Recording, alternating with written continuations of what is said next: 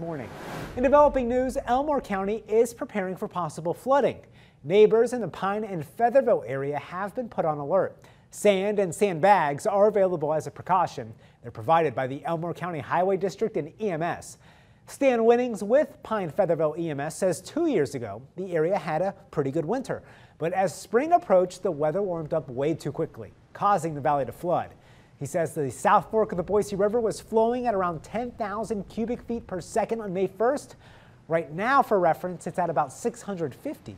We're just preparing if suddenly we had a heat wave or a warm rain come through and it takes the snow off the mountains. It's going to put a lot of moisture back into the river and we could potentially see some flooding up here. Right now, households are allowed 15 sandbags to give everyone the opportunity to grab them if they need them.